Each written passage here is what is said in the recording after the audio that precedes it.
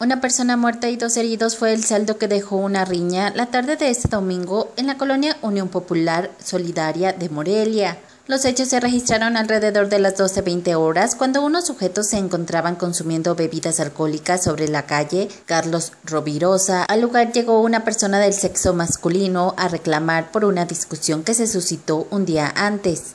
Después de un intercambio de palabras, el agresor sacó de entre sus ropas un revólver calibre 38 y lo accionó en varias ocasiones, logrando quitarle la vida a Abraham Zacarías Vieira, de 29 años. De igual forma, resultaron heridos de gravedad los hermanos Adolfo Omar y Eduardo Chávez Álvarez, ambos de 26, con domicilio en la colonia Unión Solidaria, quienes fueron trasladados a bordo de dos ambulancias de PC al Hospital Civil para su atención médica. Al lugar llegaron elementos de la Policía Ministerial y Estatal para realizar las diligencias correspondientes y el levantamiento del cuerpo. El agresor logró darse a la fuga con rumbo desconocido, por lo que se inició un operativo para dar con su paradero.